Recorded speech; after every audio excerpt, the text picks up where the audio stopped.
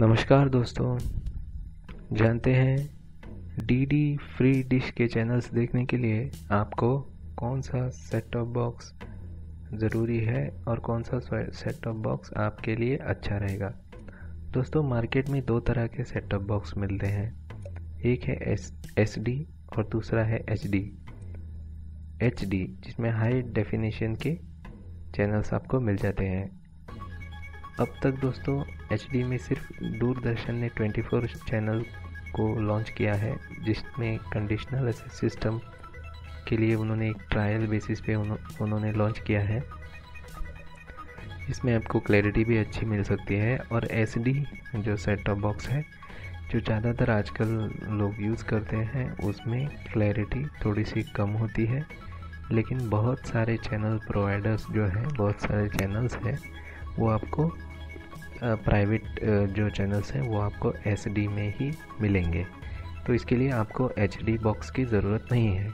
लेकिन एचडी में और एक इस बॉक्स में एक स्पेशलिटी है कि उसमें आपको ई मिल जाता है। मैंने देखा है कि ई का मतलब है इलेक्ट्रॉनिक प्रोग्राम गाइड जिसमें आप अभी अगला प्रोग्राम कौन सा है या आ, कल कौन सा प्रोग्राम आएगा उसके बारे में अगर चैनल कुछ इन्फॉर्मेशन प्रोवाइड करता है तो वो इंफॉर्मेशन आपको अगर आप इन्फो बटन दबाएँगे तो आपको वहाँ पे नीचे स्क्रीन पे दिख जाएगी।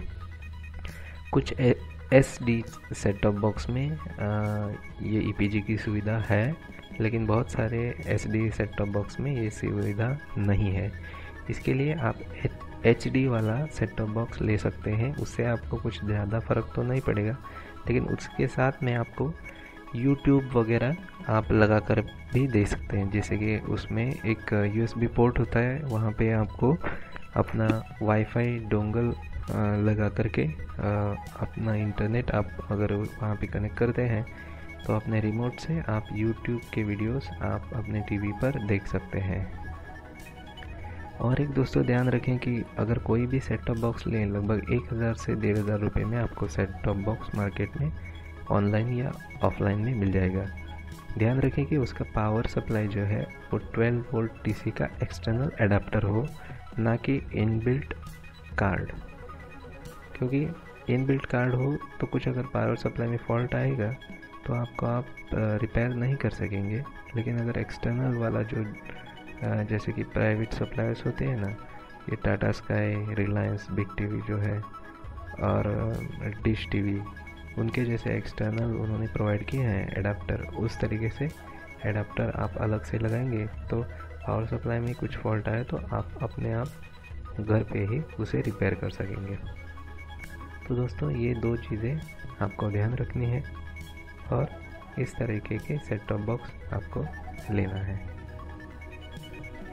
दोस्तों सेट टॉप बॉक्स में एक फॉर्मवेयर फॉर्मवेयर होता है जिसे सॉफ्टवेयर भी आप कह सकते हैं, जिसमें आपको जो स्क्रीन पे जो सॉफ्टवेयर दिखता है, वो जो यूज़र इंटरफेस दिखती है, उसे अपग्रेड बहुत बार उसमें दिख जाता है। मेन्यू में आपको कि एक सॉफ्टवेयर अपग्रेड ओ वगैरह जो दिख जाता है तो उसको बहुत सारे वीडियोस मैंने देखे कि जो लोग कह रहे हैं कि आप उस सॉफ्टवेयर अपग्रेड कर सकते हैं।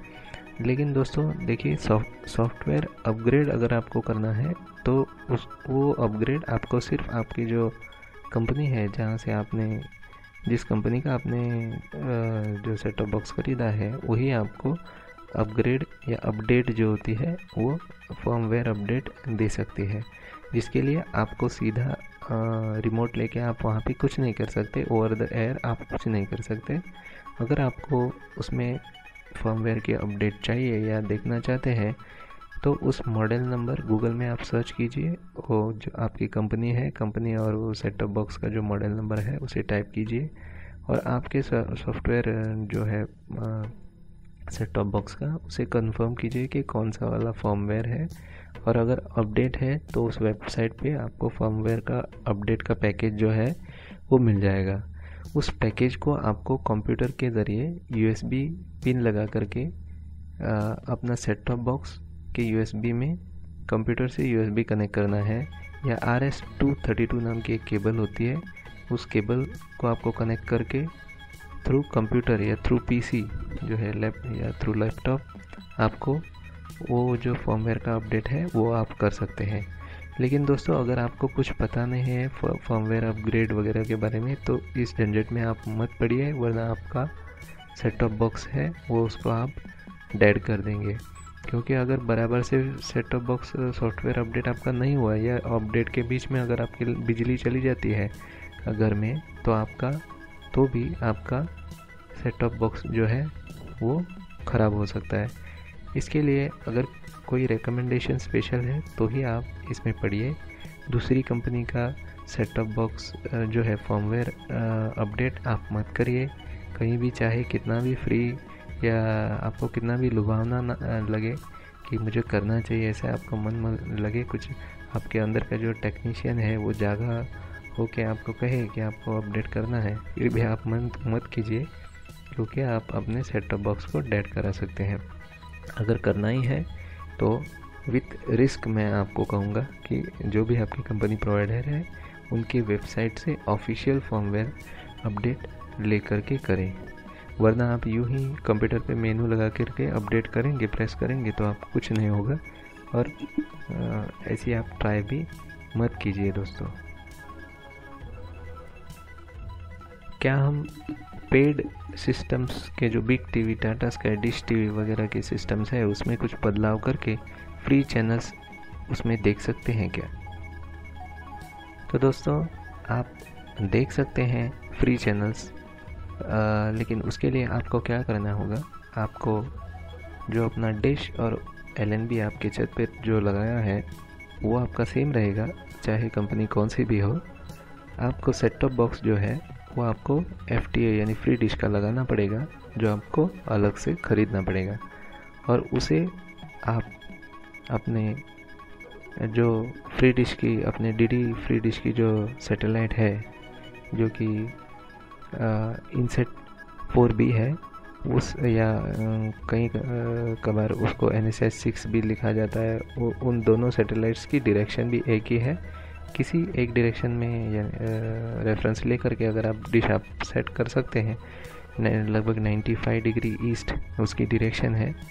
उस डायरेक्शन में अगर आप आ, किसी भी डिश को सेट कर लें जो टाटा स्काई हो या कोई हो बिग टीवी जो भी हो आपका तो आप अपने set free to air set top box में फ्री के चैनल्स जो डी प्रोवाइड कर रहा है वो देख सकते हैं। उसके लिए आपको ऊपर का जो छत का डिश है उसे चेंज करने की ज़रूरत नहीं है और एलएनबी को भी आपको चेंज करने की ज़रूरत नहीं है दोस्तों। ऐसा करके आप दे, देख सकते हैं।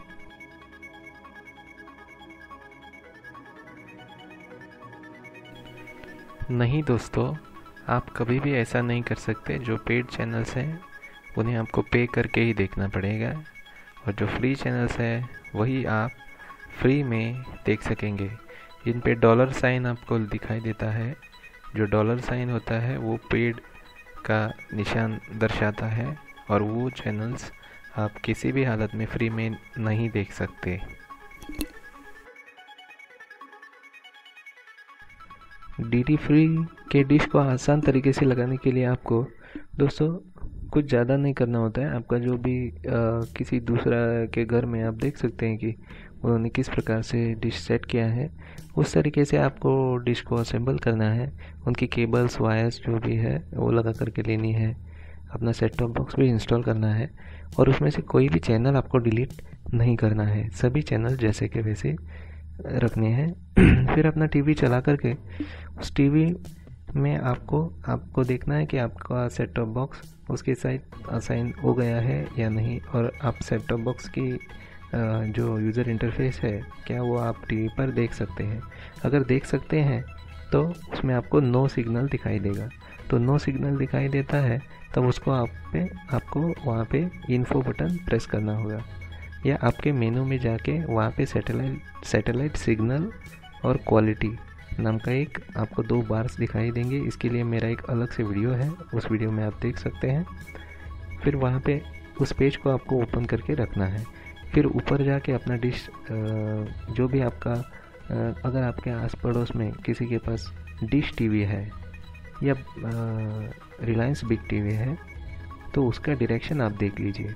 उसी डायरेक्शन में आपको अपना सैटेलाइट जो है डिश आपको सेट करना है।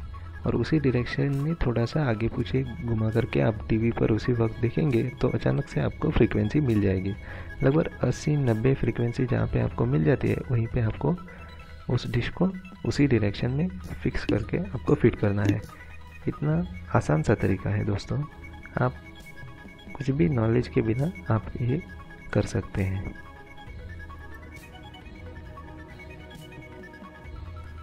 वैसे तो दोस्तों डी डी फ्रिश में डिश के बुके में कैपेसिटी तो 400 से साढ़े चार सौ चैनल्स की है लेकिन अग, अभी तो लगभग 100 से डेढ़ सौ चैनल्स जिसमें आपको 50 एजु, एजुकेशनल चैनल्स और लगभग 100 चैनल्स जो है रीजनल और नेशनल मिलाकर के आपको 100 चैनल्स आप एंटरटेनमेंट और मूवीज़ के देख सकते हैं। जिसके बारे में पूरी इन्फॉर्मेशन आपको स्क्रीन पर जो आप वेबसाइट दिखाई दे रहे हैं dot info slash channel list वहाँ में वहाँ पर जा कर के आपको अपडेटेड चैनल्स जो भी प्रोवाइड किए जाते हैं, जो भी निकाले जाएँगे, जो भी ऐड किए जाएँगे, उसके बारे में आपको पूरी डिटेल इन्फॉर्मेशन वहाँ पे मिलेगी। अगर आपको एवरी डे वहाँ पर जाना डिफ़िकल्ट लगता है तो वहाँ उसमें ईमेल सब्सक्रिप्शन का ऑप्शन भी उन्होंने दिया हुआ है। वहाँ पे आप अपना ईमेल डाल करके अपने इनबॉक्स में आप जो भी उनकी चैनल्स की अपडेटेड इन्फॉर्मेशन है, वो आप ले सकते हैं।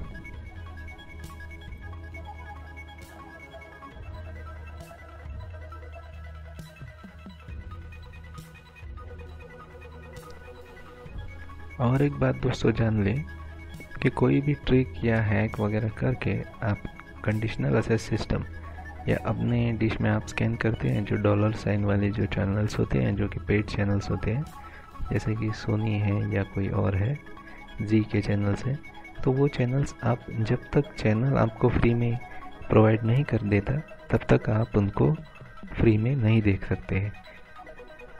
कभी कभी बार ऐसा क्लेम किया जाता है कि जो डॉलर सिंबल वाले चैनल्स हैं, वो उनको आप फ्री में देख सकते हैं।